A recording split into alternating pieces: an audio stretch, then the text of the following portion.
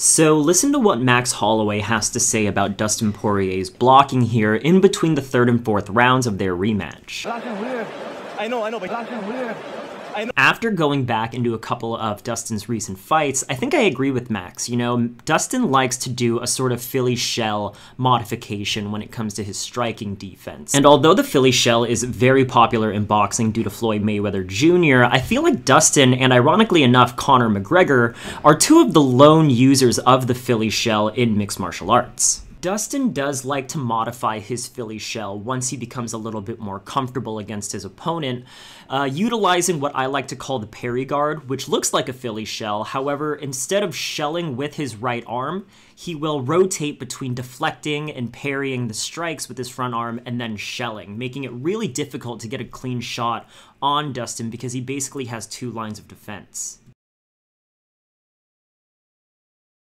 Something that he also uses that I think really throws guys off guard is what I'm calling the offensive Philly shell, which looks like the Philly shell at a distance. However, when you take a look at it, Dustin is simultaneously trying to block punches with his elbows. And he's oftentimes pretty accurate with it. And when they punch his elbows, you can bet that hurts the hands of his opponents. And that discourages them from punching in the future for sure. In fact, when Dustin can't get to the Philly shell in time, he will still prioritize trying to intercept the incoming strike with his elbow. This is an annoying thing to deal with too. Look at Max trying to smack away Dustin's elbow to start off his combo here.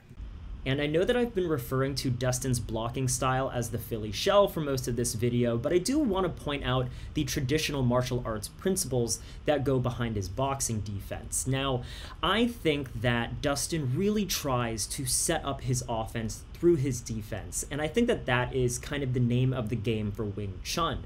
And interestingly enough, I found this Wing Chun guy online that pointed out the Wing Chun principles that he noticed in Dustin versus Max.